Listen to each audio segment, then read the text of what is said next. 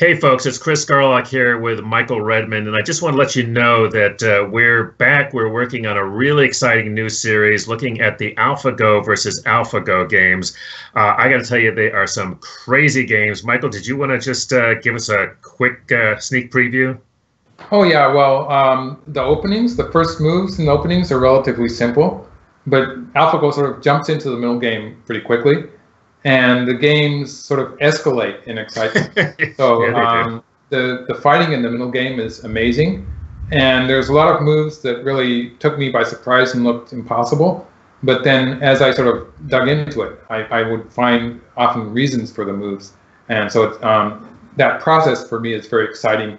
And I think the video commentaries also will be showing a lot of excitement to people watching the games. And I, I'm, I'm hoping that I can sort of explain it and um, piece it up so people can understand.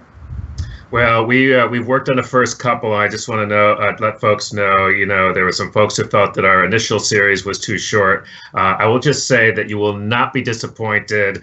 Uh, you're definitely going to want to, you know, get some food, get some drink, and settle in because these are going to be really incredible games. Uh, you're really going to enjoy them. So we hope to have them uh, in the next couple of weeks. We'll keep you posted in the e-journal. Michael, I have to say, has been working incredibly hard. These are incredibly complicated games. So.